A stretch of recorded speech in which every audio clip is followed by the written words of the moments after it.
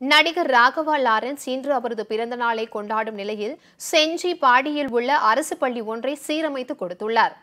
அமைச்சர் செங்கோட்டையன் ஒரு விழாவில் பேசும்போது பள்ளிகள் தான் எதிர்கால சந்ததிகளை வடிவமைக்கும் கோவில் வறுமை கோட்டுக்கு கீழே உள்ள மாணவர்கள் மாணவிகள் கல்வி கற்க அடைக்கலமாகும் இடம் அரசாங்க பள்ளிகள் தான் என்று கூறியிருந்தார். இதனை ஏற்று ராகவா லாரன்ஸ் சென்னை பாடி அருகில் உள்ள அரசாங்க பள்ளி ஒன்றையும் செஞ்சி அருகிலுள்ள பள்ளி ஒன்றையும் தத்தெடுத்தார். பழைய கட்டிடமாக இருந்த பள்ளிகளை சீரமைத்து தனியார் பள்ளிக்கு நிகராக மாற்றி கொடுத்துள்ளார். செஞ்சி அருகிலுள்ள மேம்மலையனூர் அரசாங்க பள்ளிக்கு கழிப்பிடம் மற்றும் சில பகுதிகளை புதுப்பித்து வர்ணம் அடித்து புது கட்டிடம் மாதிரி மாற்றியுள்ளார். ராகவா லாரன்ஸ் பிறந்த நாளான இன்று பள்ளியின் திறப்பு விழா நடக்கிறது. லாரன்ஸின் தாயார் அறுவை சிகிச்சை முடிந்து வீட்டில் இருப்பதால் லாரன்ஸ் அந்த நிகழ்ச்சியில் கலந்து கொள்ள முடியவில்லை. நடிகை ஓவியா விழாவில் கலந்து கொள்கிறார். இது பற்றி ராகவா லாரன்ஸ் கூறும்போது இரண்டு பள்ளிகளோடு நின்றுவிடப் போவதில்லை.